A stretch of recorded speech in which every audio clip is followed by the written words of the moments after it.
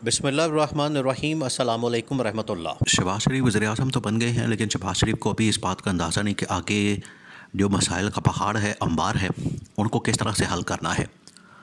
और शबाज शरीफ के साथ इस वक्त कोई शख्स नहीं है, कोई भी मुखलस नहीं है। एवन के जो उसका अपना बड़ा भाई है, जिसको वो कायद कहता है, कायद मोहतरम कहता है, और अपनी सब कुछ कहता है। वो भी उसके साथ नहीं, क्योंकि शहबाज शरीफ के ऊपर सबसे पहले जो अदम अतमाद किया वो उसके अपने भाई नवाज़ शरीफ ने किया, जो कि असम्बली के अंदर हलफ उठाने के बाद नवाज़ शरीफ से हाथ मिलाने को तैयार नहीं था। नवाज़ शरीफ, शहबाज शरीफ के साथ हाथ मिलाने को तैयार नहीं था और अब इसकी फटेज जो है पूरी दुनिया के अंदर वायरल हो चुकी है। फिर इसी तरह से पीपल्स पार्टी, जो इस वक्त सबसे बड़ी इतिहादी पार्टी है इस हुकूमत के अंदर। जिसने वोट दिया है तो शबाज शरीफ वजर अजम बना है। वो शबाज शरीफ के ऊपर इस किस्म का अदम अतमाद कर चुकी है कि इनके साथ काबीना में बैठने को तैयार नहीं। अब इससे बड़ा अदम अतमाद क्या हो सकता है?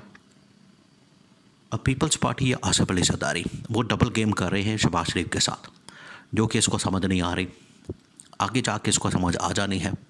अब ये इंतहाई अहम तरीन मामला है, इसको आपने समझना है। देखें, बिलावल भुट्टो और सबक स्पीकर राजा परवेज़ अशरफ की जानब से, जो इस वक्त एक मफाहमत की बात की जा रही है पी टी आई के लिए, इमरान खान के लिए, वो ये बताती है कि ये इमरान खान के साथ हाथ मिलाना चाहते हैं। दूसरी जानब दूसरी जानब राजा परवेज़ अशरफ, जो कि सबक स्पीकर कौमी असम्बली है, उनकी जानब से ये कह दिया गया है कि ये कंपनी नहीं चलने वाली। इसका साफ़ मतलब है, और जब ये उनकी जानब से बात की गई तो उस वक्त आसिफ अली जतारी भी वहाँ पर मौजूद था और बिलावल भुट्टो भी वहाँ पर मौजूद था।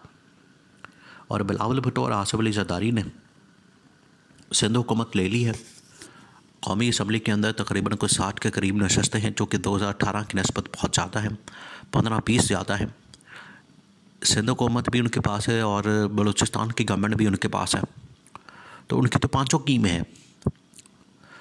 तो शहबाज शरीफ ने जो अद्दी पचदी हुकूमत ली है, वफाक के अंदर, उनके पास तो मेजॉरिटी है ही नहीं। हाँ थोड़ी बहुत जो मेजॉरिटी है, वो पंजाब के अंदर ज़रूर है, और ये इतना ही मुकाबला है पीटीआई और नून लीग के दरमियान। तो जहाँ पर पीटीआई विन विन सिचुएशन में है People's Party win win situation में है, ये दो बड़ी जमातें हैं, उसमें तीसरी, ये तीन वैसे बड़ी जमातें हैं, नून लीग भी उसमें शामिल है, लेकिन नून लीग अब इसमें वाज तौर पर नज़र आ रहा है कि वह शिकस्त खा चुकी है, लेकिन ज़ोर ज़बरदस्ती के साथ धांधली के साथ मुकमका करवा के इसको ज़ोर लगा के, धक्का लगा के जो है इसको हुकूमत के अंदर बैठा दिया गया। हालाँकि ना इनके पास मेजॉरिटी है, ना इनके पास मैंडेट है, ना इनके पास वोट पूरे हैं। तो अब इनको आगे जो इनके साथ होने वाला है, वो अभी शबाज शरीफ को नज़र नहीं आ रहा। और ये मामला शुरू होना है बलूचिस्तान से, क्योंकि जब लास्ट टाइम दो हज़ार सतारह के अंदर नवाज़ शरीफ की हुकूमत का ख़ात्मा किया गया, जिसका वो इल्ज़ाम नवाज़ शरीफ जजेस के ऊपर डालता। नवाज़ शरीफ कहता है कि जजेस ने उस वक्त के चीफ जस्टिस साकिब नसार, उसके बाद जस्टिस एजाजुल एहसन और इस तरह के लोगों का नाम लेता है कि उन्होंने मेरी हुकूमत का ख़ात्मा किया। और इसके पीछे और भी बड़े नाम हैं और नाम लेने से डरता है। भाई, अगर नाम है तो आप नाम लें फिर डरे ना। फिर नाम भी नहीं बताने और कहीं भी जाना। है कि उसके पीछे कुछ है या उसके पीछे कुछ नाम है।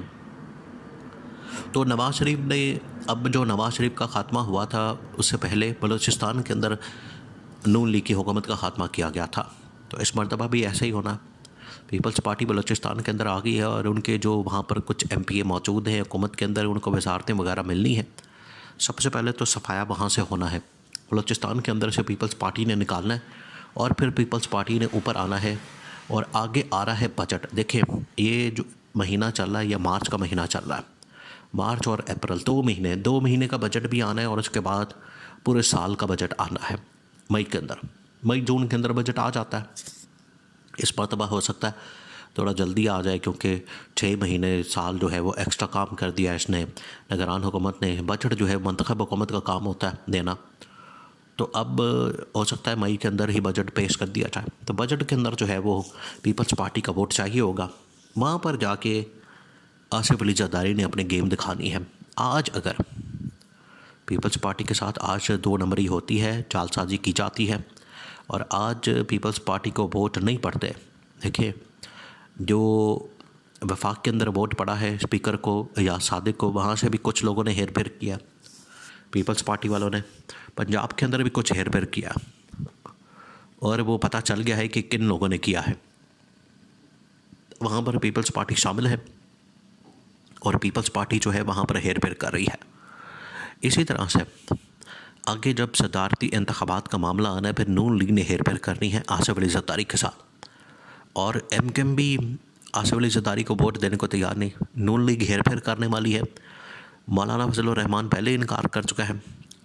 महमूद खान अचकजई के पास इस वक्त सबसे ज़्यादा स्ट्रेंथ मौजूद है।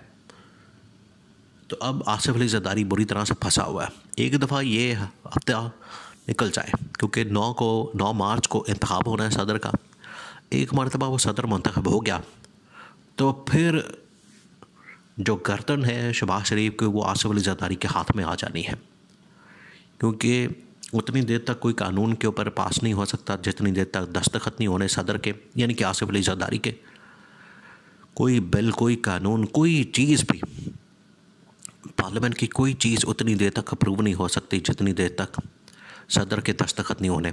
और इस्लामाबाद के अंदर क्या होना है कि साजिशों के दो गढ़ बन जाने हैं। एक इस्लामाबाद के अंदर, इस्लामाबाद के अंदर दो साजिशों के गढ़ बन जाने एक प्राइम मिनिस्टर हाउस यहाँ पर नून लीग का कब्ज़ा होना है और दूसरी जाने पीपल्स पार्टी का कब्ज़ा होना है अवान सदर के अंदर। दोनों आमने सामने और दोनों को जो है वो इट कुत्ते का वैर शुरू हो जाना है। अब आसिफ अली जदारी ने आगे का प्लान कर लिया है कि जैसी बजट आना है, बजट के अंदर हमने इसकी टांगें खींचनी हैं। बजट के अंदर अगर हमें सिंध को, बलूचिस्तान को और पीपल्स पार्टी को हमारी मर्ज़ी का मैंडेट और हमारी मर्ज़ी का डेवलपमेंट फंड ना मिला अगर हमें लूटमार और ठेके और टेंडर्स वो ना मिले और पैसा जो है वो ना मिला तो उसके बाद फिर हमने पीपल्स पार्टी ने ये डिसाइड किया कि हमने जो फाइनेंस बिल होता है उसके ऊपर वोट नहीं देना। और ये फाइनेंस बिल एक ऐसी चीज़ है कि अगर इसके ऊपर मेजॉरिटी वोट ना मिले और हुकूमत को अपना पूरे वोट ना मिले तो हुकूमत गिर जाती है, हुकूमत ख़त्म हो जाती है। इस तरह से कभी हुआ तो नहीं, लेकिन आइन के अंदर ये मौजूद है। तो आसिफ अली जदारी ने उस वक्त हुकूमत का ख़ात्मा करके एक नई हुकूमत तश्कील देनी है पी टी आई के साथ मिलकर। ये प्लान हो चुका है, तय हो चुका है। और आसिफ अली जदारी ने इसका प्लान करके मैसेजेस कन्वे करना शुरू कर दिए हैं। और ये तकरीरों के अंदर नज़र आना शुरू हो गया है। शबाज शरीफ की मख्ती आ गई है। जिस तरह से आसिफ अली जदारी ने पहले नवाज़ शरीफ का ख़ात्मा किया, अब शबाज शरीफ की बारी है। फिर उसके बाद मरीम नवाज़ को भी सियासी तौर पर हमेशा के लिए ख़त्म कर देना है।